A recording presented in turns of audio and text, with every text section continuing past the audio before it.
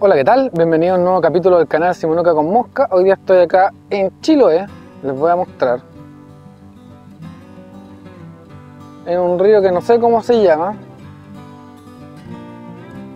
Pero si es que en su GPS buscan líneas azules, se llama Blue Lining, voy a dejar un link acá en la descripción del video cómo hacerlo. Pueden empezar a descubrir ríos por las propias.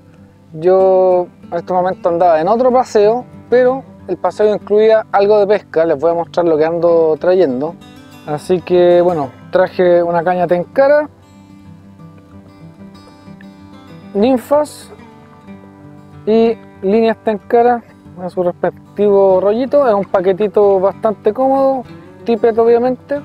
Estos vamos a andar trayendo y aquí traje los waders y bototos de badeo y este clip para colocar la cámara en alguna parte del cuerpo, seguramente en esta correa, para filmar en terreno. Así que voy a armar este setup y lo voy a armar tipo pesca por tensión y les voy a mostrar cómo lo hago, así que esténse atentos. Ya bueno, aquí está la, la caña, voy a dejar un link en la descripción del video a un review, un unboxing que hice una caña de la, marca Tenkara Rorco, la compré en Massdrop, por si alguien está interesado también voy a dejar un link acá en la descripción del video a Massdrop. El líder que estoy usando un líder trenzado, un poquito más corta, esta caña es más corta de lo normal de una caña Tenkara, pero la idea es esa porque es una caña transportable, si se fijan mide como 30 centímetros entonces al final del, no sé si lo van a poder alcanzar a ver, pero ahí al final del líder, ahí, ahí hay una anilla de acero de 2 milímetros y después tippet que finalmente tengo con una ninfa. Y básicamente esto lo va a pescar pesca a ninfa por tensión que es muy similar a la pesca al hilo con la diferencia que esto no es hilo. Pero mi indicador de pique va a ser la punta acá del líder. Se me olvidó traer las ceras, si estuviera trayendo las ceras que me regaló Juan Cortiz de Chile Pesca Mosca, podría pintar la parte superior de este tippet y así detectar mejor la picada, pero vamos a ver cómo lo hacemos. Total, este color yo creo que lo puedo detectar. El día no está muy soleado, Así que vamos a ver cómo nos, cómo nos va. Yo creo que para evitar enredo voy a partir pescando con una sola ninfa. Ando sin red. Yo creo que si pesco con dos ninfas puede que al tratar de liberar el pez me pinche. Bueno, vamos a ir probando. Yo creo que voy a pescar una hora, una hora y media y de ahí de vuelta para la casa. Así que este videolog es cortito, pero espero que les guste. Como les decía, este río lo pillé por Blue Lightning tuve la suerte que había un acceso, así que es muy probable que tampoco que esté algo recorrido, aunque Chiloé no es muy conocido por la pesca, por lo tanto espero que la gente no lo venga a pescar tanto. Espero. Vamos a hacerle empeño entonces muchachos. Acompáñenme, me voy a cambiar, me voy a poner pantalones de badeo. Tengo unos pantalones de badeo que compré en Chile Pesca Mosca, voy a dejar un link en la descripción del video porque con pantalones de badeo para ríos tan pequeños como este ya les voy a mostrar otra toma no es necesario que sea más bueno si hace calor en pleno verano pueden hacer wet wading o badeo mojado ya se viene un video en uno yo por ahí por marzo vamos a hacer un video al respecto ¿Dónde está el río? Atrapé una peladilla. ¿Qué tal?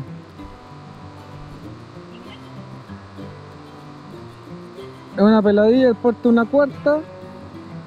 Hace mucho tiempo que no pescaba una peladilla, yo diría unos 25 años. Ahí se fue.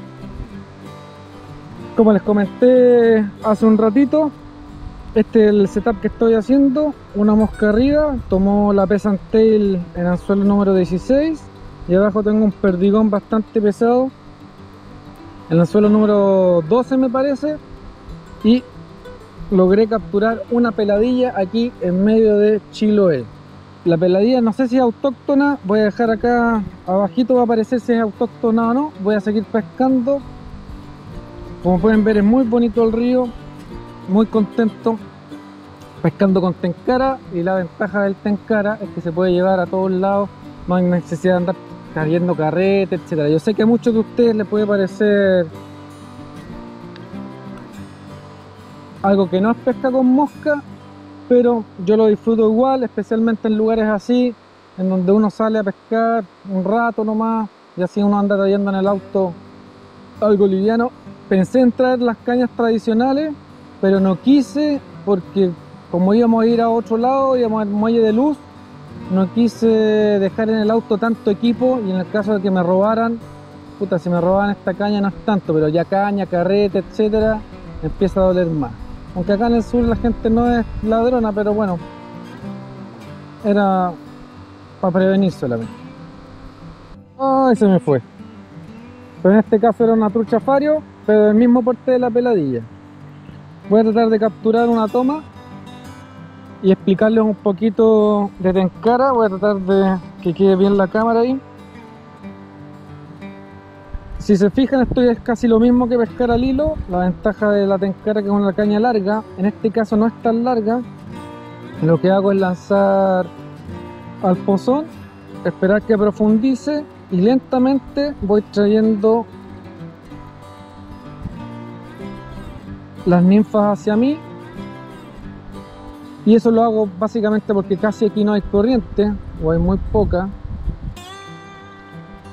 entonces yo ya sé que por ejemplo desde la punta verde no sé si se va a alcanzar a ver en el video pero desde la punta verde hasta la primera mosca o la mosca de la punta debe haber un metro y medio y eso en pozones no tan profundos como este me permite poner apenas si la punta del líder torsionado en el agua y así detectar piques.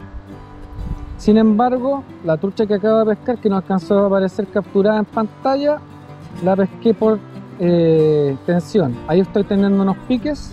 Hay algo de viento pasa lo mismo en el viento que con la pesca al hilo. Se levantan un poco las ninfas. Y ya cuando llego a la orilla, levanto y vuelvo a lanzar. Y así voy barriendo hasta llegar hasta allá al final del pozo. Tengo otra peladilla. Lamentablemente no traje red. Voy a ver si se ve la peladilla ahí en... Voy a mojar la mano. En pantalla las peladillas no tienen escamas. Que son muy parecidas a un pejerrey. En forma o a lo mejor es un salmón, no sé. Si alguien sabe lo que es, por favor me avisa. Yo creo que es una peladilla. Bueno, ahí se fue. Vamos a seguir pescando. Las peladillas las he tomado todas en la Peasant Tail, el número 14 o 16. 16 debe ser ese anzuelo. Y en la número anzuelo número 12 he sacado la Fario.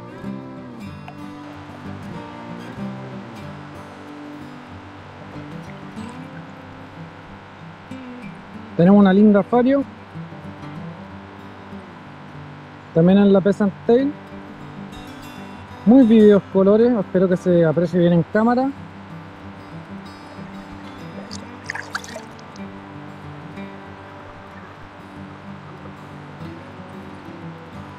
Como pueden ver, la técnica tencara es bastante efectiva. Tengo que tengo un nudo acá. Bueno, mientras limpio el nudo les, les, puedo ir contando.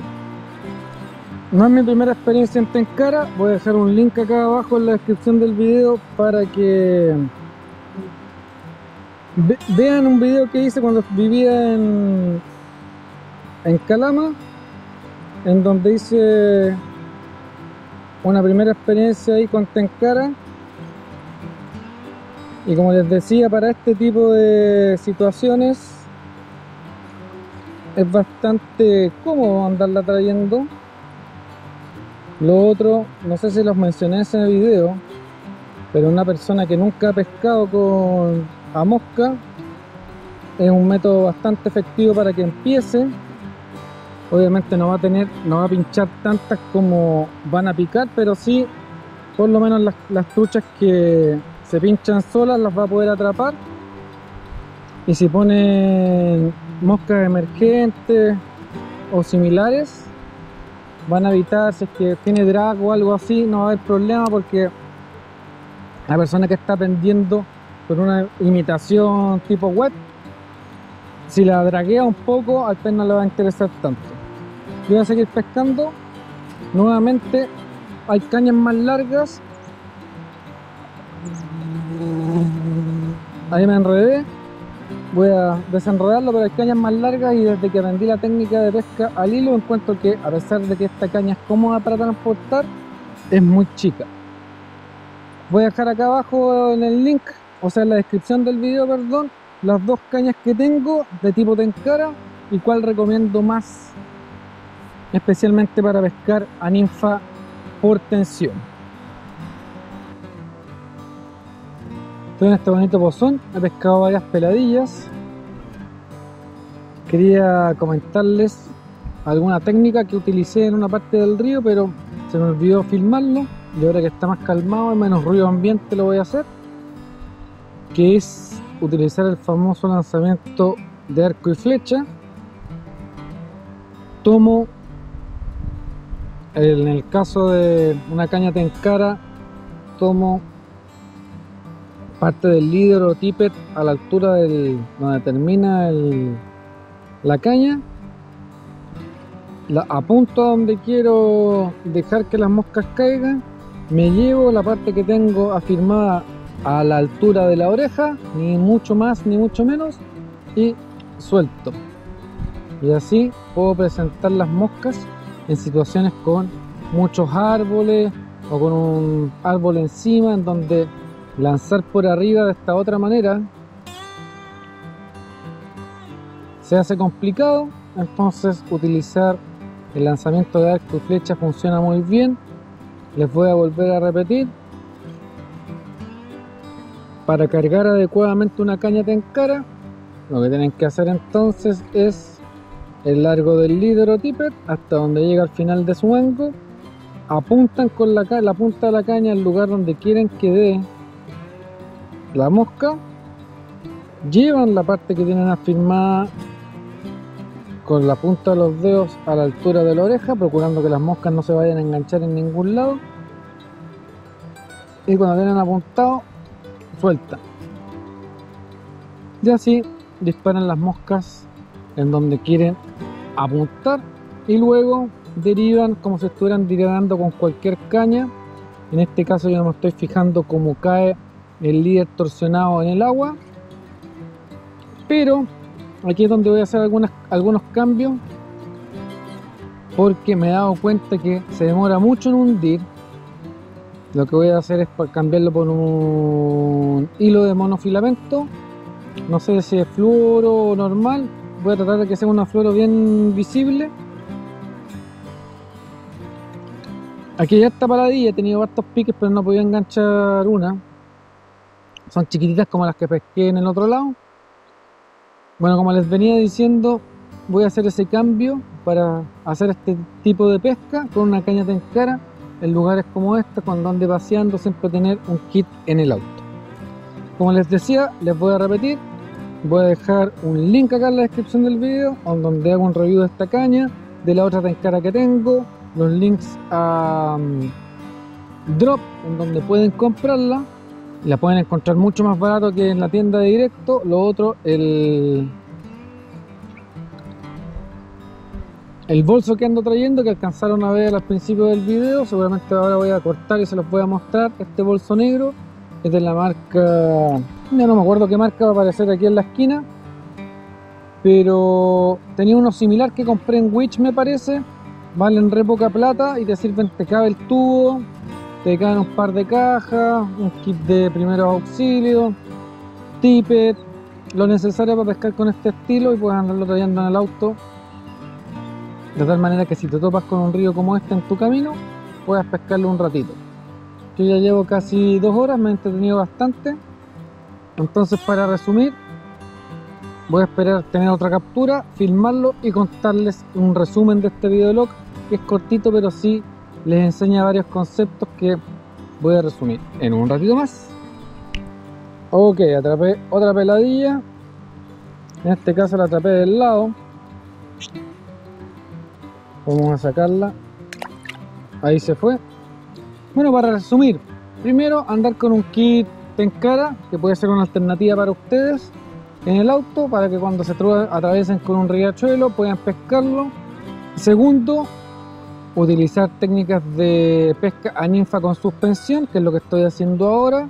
No se requiere peso adicional, se requieren tipes delgados y en el caso de, de ahora de esta caña, para lograr mejor el objetivo a cambiar el líder tensionado por monofilamento, pero con los kits que vienen en sus cañas tencaras normales que compren en el mercado les van a andar bien. Pensar para pesca suspendida tal vez en una, caña más grande que este modelo. Esta es la Sotus, que creo que es la más corta, creo que esta es de 10 pies, pero desde acá, entonces tampoco es tan larga, serán como 9-8 pies. Deben ser como lo normal de una caña, porque las, las cañas normales uno las toma aquí, ¿cierto? La medida cambia un poco, pero bueno. Si no la otra, el otro modelo ya se los voy a mostrar. Todo va a quedar acá en la descripción del video. Pero lo más importante de este videolog es la parte en que buscan los ríos en donde pescar con el método conocido por Blue Lining. El método conocido por Blue Lining, lo que uno hace, voy a dejar un link acá en la descripción del video, pero se los voy a explicar rápido. Lo que uno hace cuando lo realiza, se mete en Google Earth, busca las líneas azules, las marca en el mapa, en este caso en su teléfono puede ser, ya no, no es tan necesario que lo hagan como lo hice en el video anterior, pero también si lo quieren hacer así, lo pueden hacer así con un mapa Garmin. Bueno, la cosa es que marcan el punto y después cuando llegan al lugar lo pescan. Se llama Blue Lightning y pueden descubrir lugares como estos. No tienen que andar preguntando en foros, en cuestiones parecidas. Pueden encontrar lugares que nadie ha pescado o que muy pocos pescan o encontrarse con sorpresas como las que me encontré yo hoy, que está lleno de peladillas. También hay trucha fario, pero está lleno de peladillas, una especie de pescado que pescamos muy poco en nuestras tierras. Ahí hay otro. Todas las pescas que he logrado acá han sido con la mosca cola de faisán o peasant tail. En este caso pesqué una linda fario bien tomada de la boca, pescando a ninfa por tensión. Entonces finalmente recordarles, además de todas las técnicas que he enseñado en el canal y a lo mejor son nuevos en el canal y no conocían ese video de Blue Lightning, vayan a verlo, es muy interesante y pueden descubrir lugares como este, como ya les decía, con muy buena pesca, a lo mejor claro, los tamaños no son tan grandes, Puede que haya algo más grande si es que, no sé, pues me dedico a pescarlo todo el día, pero para dedicarle dos horas con equipo ultraliviano como es el Tenkara, con pesca ninfa. Ahora se preguntarán qué moscas ando trayendo. Para finalizar, entonces, las moscas Peasant Tail, Hares Hair, Peasant Tail en varios tamaños, Hares Hair en varios tamaños. ¿Por qué elegí la Peasant Tail sobre la Hares Hair en estas aguas? Porque son muy oscuras. A aguas más oscuras moscas más oscuras y aguas más claras, moscas más claras. Patrones también pueden traer patrones eh, multipropósito como la, la famosa Prince, que en estos momentos no me dio resultado, Copper John, que son bastante pesadas, o moscas de pesca al hilo. Pesque una hoja, bueno, esa es la sensibilidad que tienen que tener cuando están pescando por tensión Y más o menos con esas moscas se pueden defender desde tamaño 12 hasta tamaño, hasta tamaño 16, que fue con lo que empecé a partir pescando. Ahora creo que, tengo una 14 y una 16, pero me ha ido bastante bien. Si les gustó este video y este tipo de video, háganme un like, suscríbanse al canal, no se olviden de revisar todas las listas que tengo porque a lo mejor se perdieron videos tan interesantes como la de Blue Lightning o utilización de Google Maps y GPS para llegar a ríos desconocidos. sumado a todo lo que hemos hablado de la pesca a ninfa, más sumado a equipos de tencara, más sumado a las moscas que siempre les digo que andan trayendo, los resultados son estos. Si les gustó el video denle like, compártalo con sus amigos, no olviden de suscribirse al canal y como siempre nos veremos en una próxima oportunidad.